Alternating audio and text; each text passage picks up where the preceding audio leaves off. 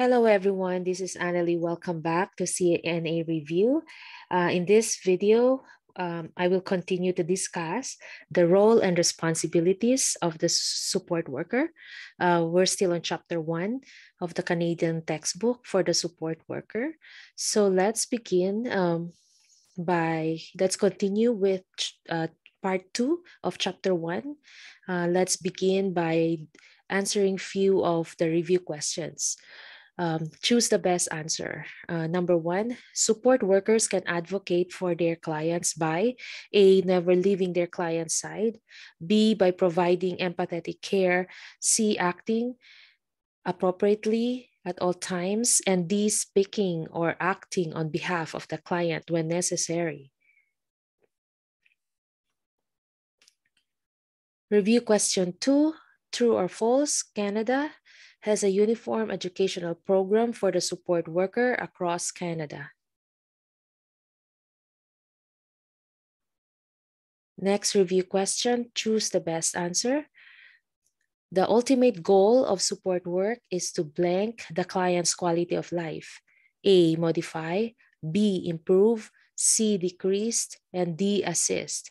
If you know the answer, please write down in the chat box below or write down on the comment section below.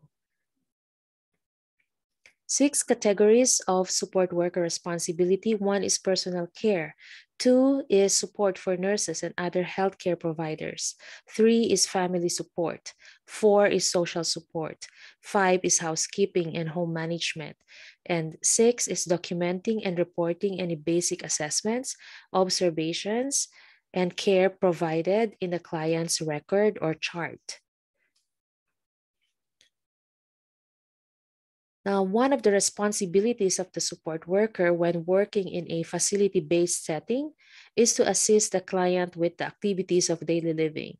Activities of daily living, or otherwise known as ADLs, are tasks or activities that a person will normally do on a day-to-day basis as self-care. Example of this is eating, bathing, grooming, dressing, and toileting. Toileting can be bowel elimination or bladder elimination. Now, some clients are no longer capable of doing this by himself and they need the support of uh, the assistance of the support worker some of them are able to do partial of the partial of the activities while some needs um, more extensive or intensive care extensive care by the support worker example of this is uh, uh, changing the incontinence brief or the incontinence product of the client, uh, providing bath or shower to the client. When the support worker works in the community, they do both the activities of daily living and the instrumental activities of daily living are also known as IADLs. So the IADL are um, complex tasks or complex skills that a person needs to have in order to survive or to be successful to live independently in the community. Example is filling up their prescription or um, uh, making sure that their prescription are delivered to them. Next is booking for transportation and appointments, a medical appointment or a diagnostic appointment.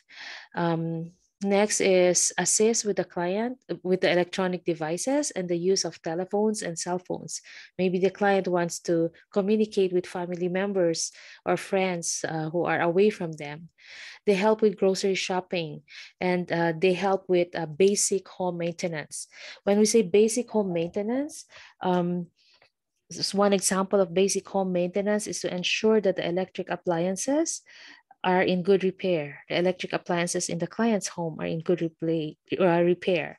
They check the water supply in the bathroom. They want to make sure that the bathroom water temperature is within the acceptable range. Um, the shoes are checked daily and making sure that they are fitting well in good repair and they're not a trip hazard to the client.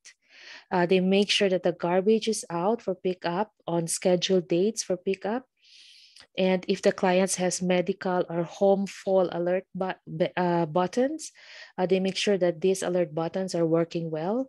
The home lights are functioning well. and um, there are no clutter inside the house.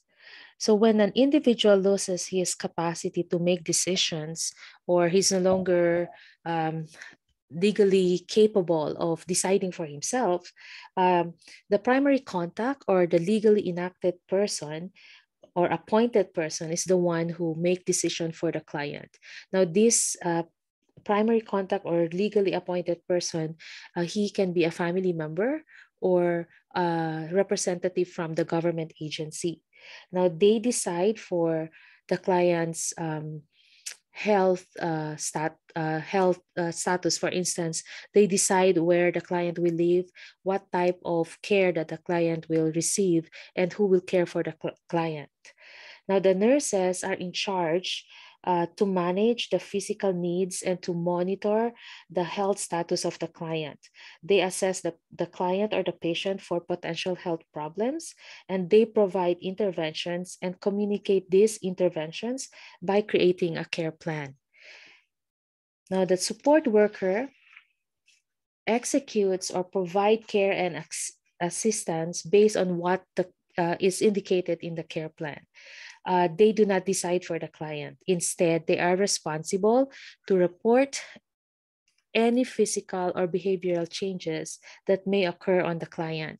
Example of physical changes, uh, sudden um, weakness of the arm or leg, um, uh, weak vision, um, pain, and uh, example of behavioral changes are when the client is disoriented, when the client is confused. When you ask one question, he will give you a different answer.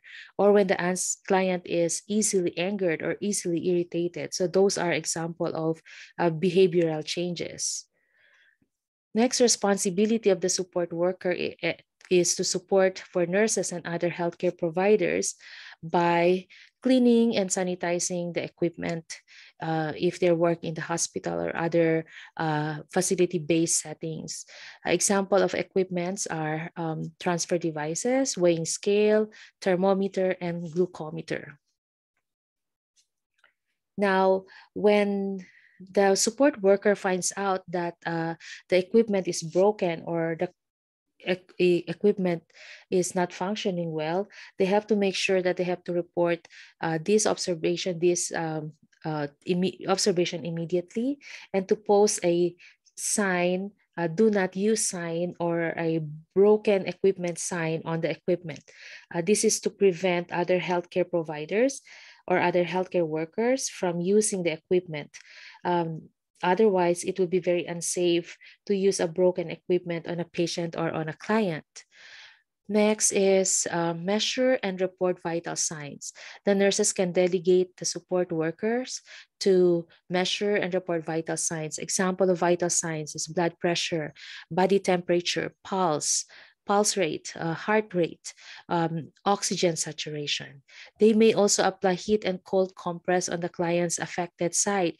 For uh, heat and cold compress will um, reduce, may reduce uh, swelling or may reduce pain and also lower the body temperature of the client. They help nurses or assist nurse, nurses with oxygen therapy by making sure that the cannula is in the right place. It, the tubing is connected to the oxygen tank or the oxygen concentrator is connected to the power supply.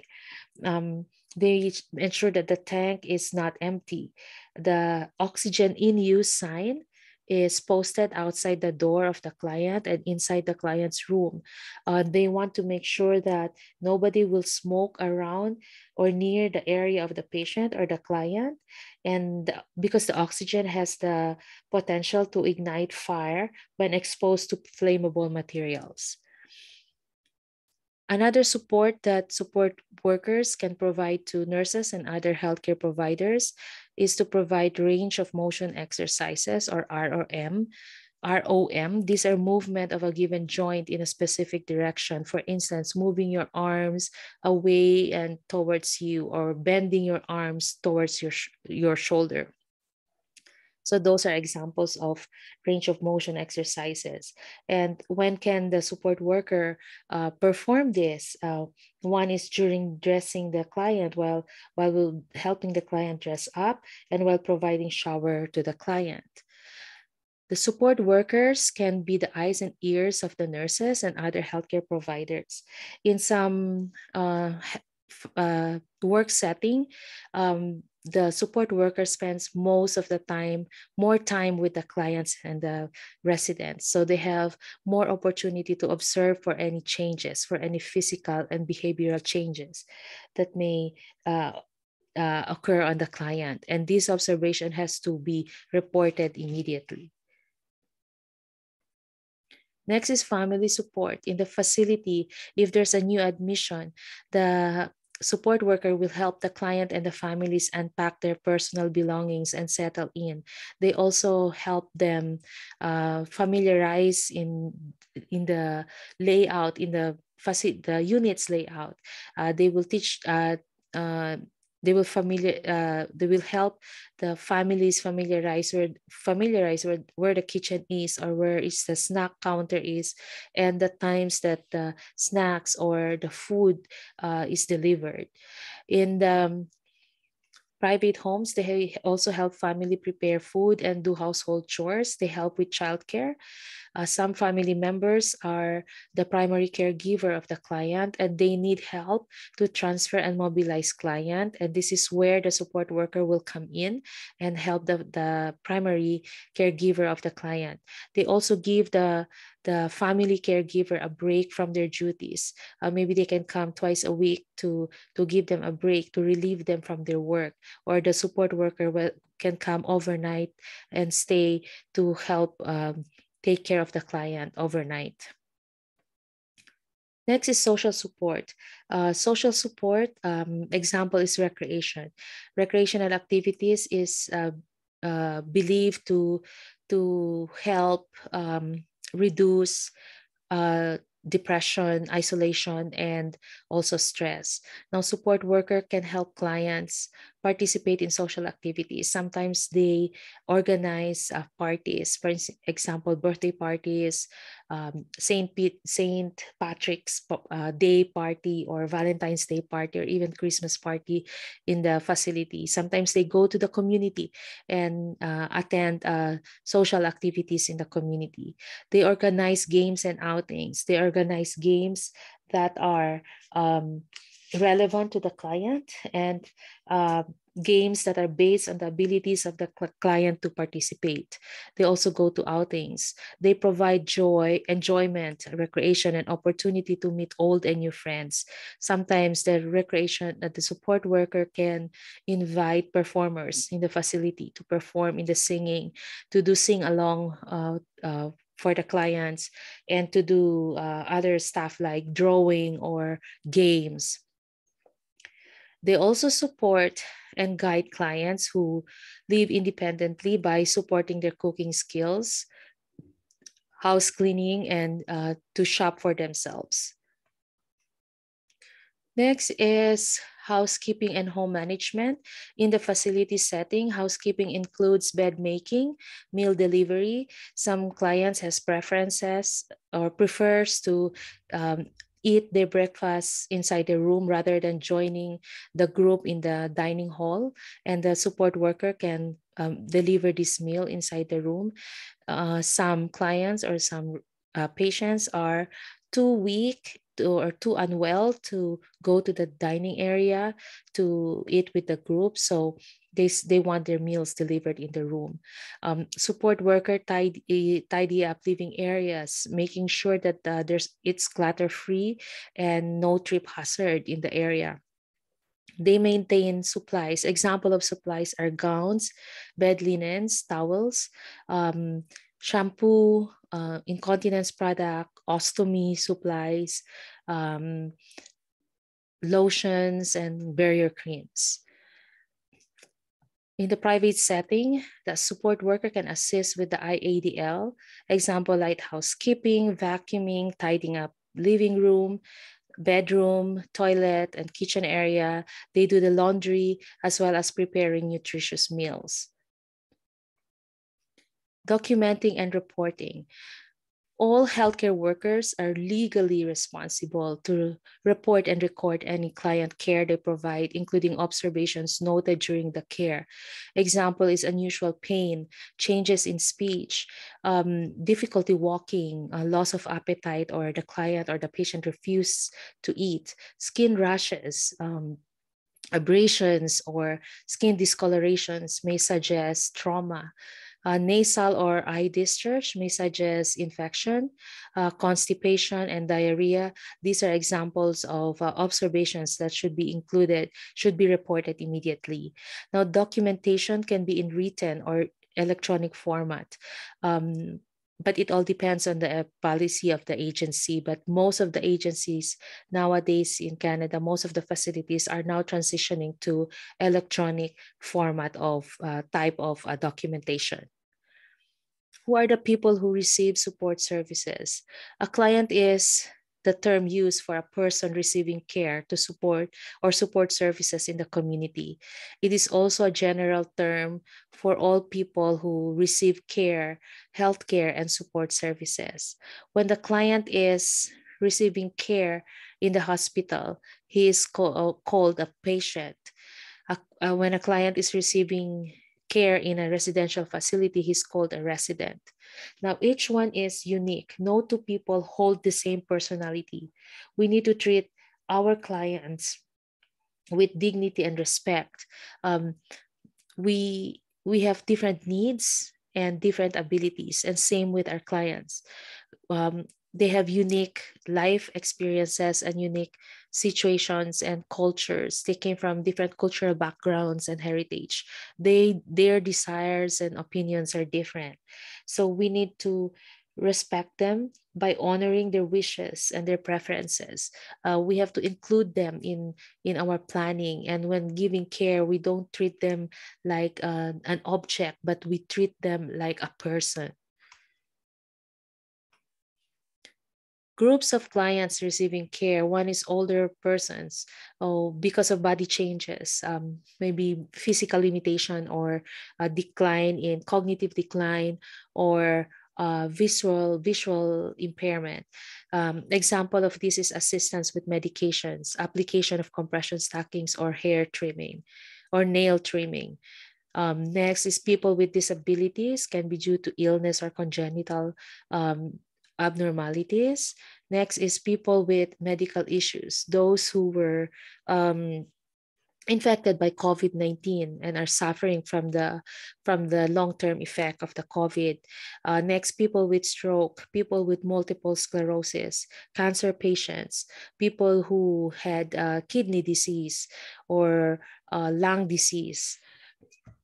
Next is people who had surgery. Um, surgery can um, I mean, people who had surgery may have difficulty in ambulating and they need the support of the support worker to help them out. They need uh, uh, the support worker can provide comfort to relieve pain. They also may assist in emptying the surgical drains if there's any and to empty Foley catheter drains if there's any. Next, people with mental health problems, um, symptoms can range from mild to, to severe, and they need someone to help them out. So, for milder people, maybe they just need cueing, they just need a reminding to do their uh, the, um, activities of daily living. Next, people needing rehabilitation.